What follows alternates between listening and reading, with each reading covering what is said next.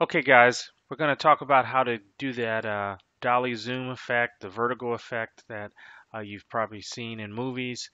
Um, it's basically when uh, this comes back from I think the 60s where they started doing movies where the lens would zoom in while they would roll a dolly holding the camera back.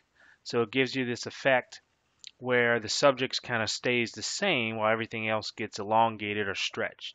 And that's if you're zooming in while moving back. But you can also do the, the opposite where you where you zoom out while moving forward with the dolly. So I'm going to show you how to do that. I've got a couple of cl clips here.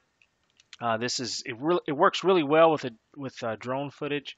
So I've got two clips here. The first clip is the drone kind of flying forward. So we're going to basically simulate the uh, dolly zoom going backwards. So uh, we're going to um, pull the background uh, further away. And then the second one, we've got the drone uh, basically flying uh, backwards. And so we're going to get the effect of the, the background kind of coming closer or forward. Okay.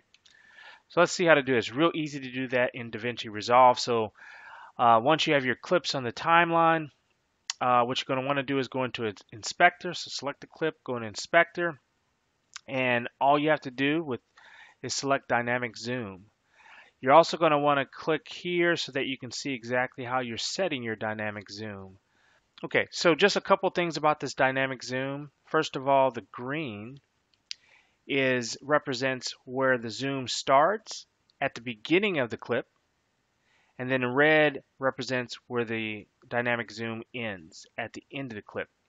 There's no keyframing or anything that you can do for this, so it's for the entire clip. If you change the size of the clip, add to it, shorten it up, it still holds true.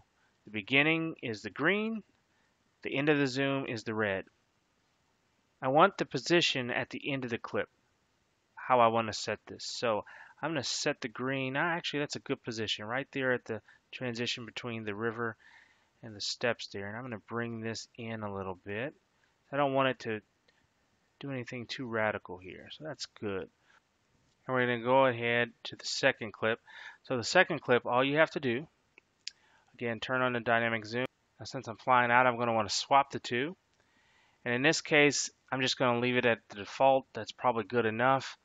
Uh, it's a pretty long clip. It's almost twice as long as the first one, so I think this uh, amount of zoom is just is just fine. So that's all you've got to do. Um, so I'll play it again and if you've got any questions, uh, please leave a comment below. Otherwise, stay tuned for the next tutorial. Later.